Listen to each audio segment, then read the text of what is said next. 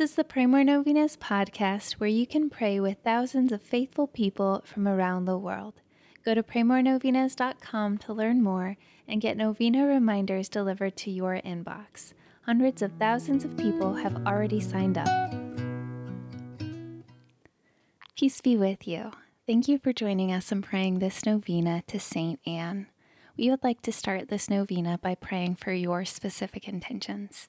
We ask that you also pray for the intentions of everyone else in the Pray More Novenas community who is joining us in prayer. We are praying for you every day. Here are the prayers for today, day one. In the name of the Father, and of the Son, and of the Holy Spirit, amen.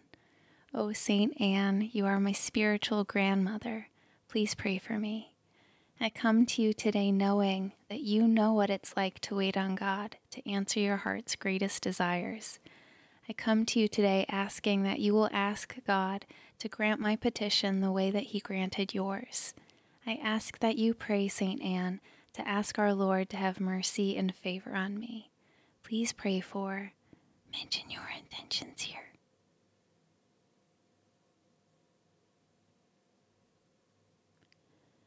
But most of all, please pray that I may be open to God's will the way that you were, and that I will be able to wait with patience, perseverance in faith and hope, and with absolute trust in the Lord's plan for me.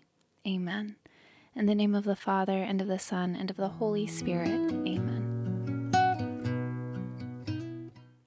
All right, thank you so much for praying with us. If you want to post your prayer intention on our website, you can go to praymorenovenas.com click on this novena and find the comment box at the bottom of the page.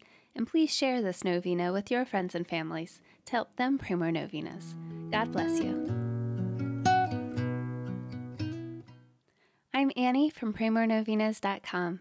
To pray this and other powerful novenas with thousands of faithful people from all over the world, head over to praymorenovenas.com to sign up for your very own novena reminder emails.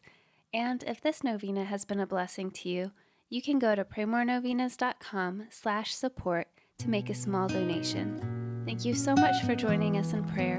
We're praying for you.